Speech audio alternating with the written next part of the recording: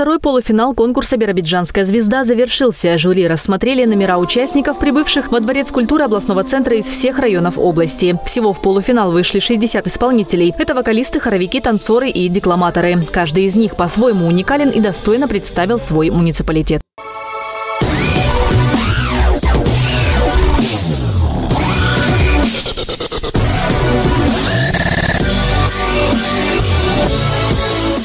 Напоминаем, конкурс «Биробиджанская звезда» проходит при поддержке Президентского фонда культурных инициатив. Отборочный тур проходил на базе учреждений культуры муниципальных образований ЯО. Финал проекта состоится в конце августа. Грандиозный галоконцерт прогремит на площади имени Ленина. В него войдут 20 номеров. Ольга Киселева, Новости, 21.